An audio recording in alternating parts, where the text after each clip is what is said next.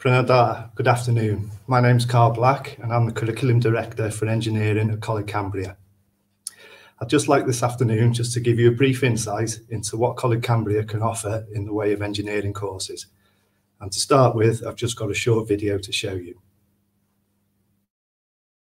Your tomorrow waits for you inside these open doors. Doors that are wide open, full of technology and experience.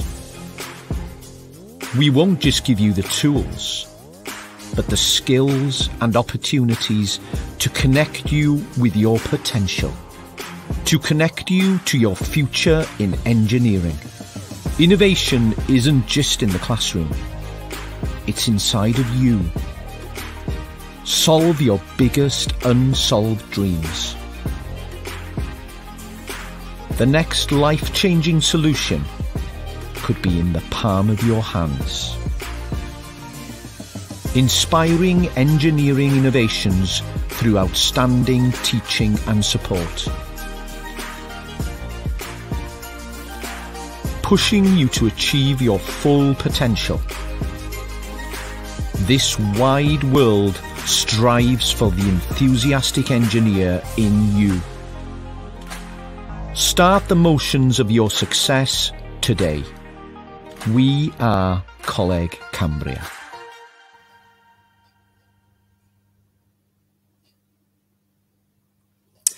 As you can see from the video, we offer state-of-the-art training facilities.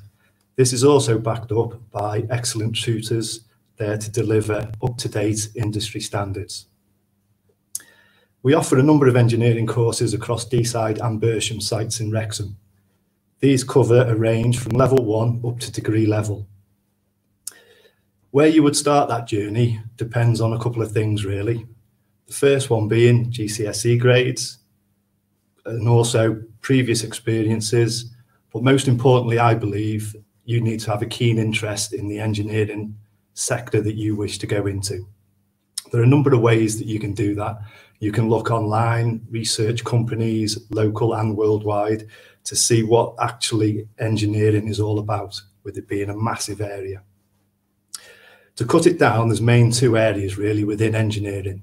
They are electrical and mechanical routes. Now, a lot of people, when they start out in the engineering world, don't understand which way they would like to go, either electrical or mechanical. So what they will look for is a course that would combine the two. Now, this would be mainly a level one course with electrical and mechanical units in, included, or also, depending on GCSE grades, you could come straight into a level two course, um, which is a performing engineering operations program at level two. Once you've completed them courses, they would take around one academic year. From there, you could then progress either into a mechanical route or into the electrical route, whichever way you want to go. The courses themselves are made up of a number of core units. These vary from health and safety to mechanical to hand fitting skills to electrical to electronics to computer aided design and many, many more. Um, also, there is the apprenticeship route that you can take. The college can also offer support through links with local industry and also with a job shop that we have on site at Deeside, where we have excellent links with industries and we have employer days where you can talk to local industries and see what they offer as an apprenticeship and uh, whichever route you want to go with that. Now, what I would like to do is if there's anybody, uh, we can take some questions through whichever social media you're on. Um, I'm not sure which ones they are, but I'm sure we can take some questions.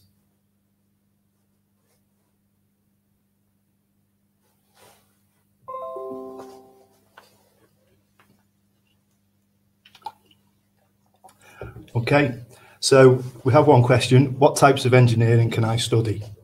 Well, as mentioned, um, we have electrical routes and we have mechanical routes.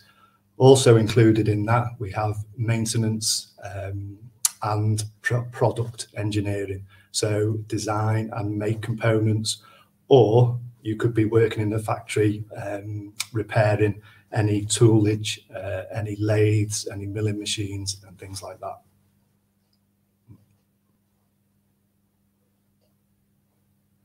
Um, what kind of work will I be expected to do? Um, I assume this is for your college course. Um, what I would suggest is the courses are pretty much split up practical and theory. So it's pretty much a 60-40 split. Most of the work will be carried out within the workshop as a practical skill. So that would just depend on the program that you take, really. Um, and then that is all backed up by some theory work that's delivered within the classroom.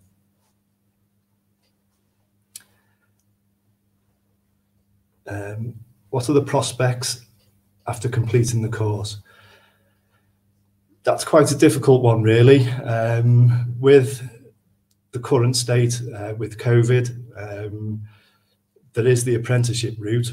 Um, companies are still taking on apprentices, uh, local companies within North Wales uh, and also locally over the border in England. Um, apprenticeships are still um, being delivered and are still quite uh, quite sought after for um, industry at the moment.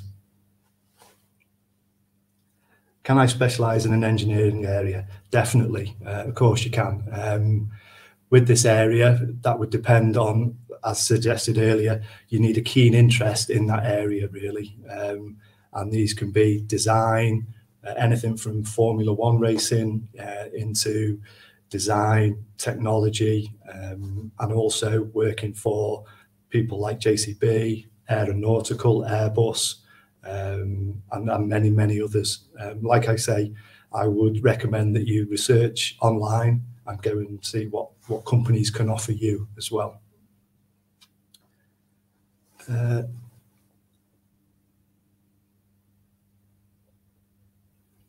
Is the course a mix of practical or theory? Um, yes, very much a practically based course uh, until you start to actually go into um, other areas of specialism.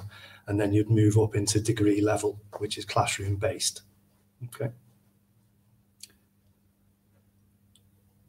Okay, so at the moment, there's no other questions. Um, if anybody thinks of any questions later on, um, then you can either contact the college through uh, email, which is student services at cambria.ac.uk, or you could call the college on 0300 30 30 007.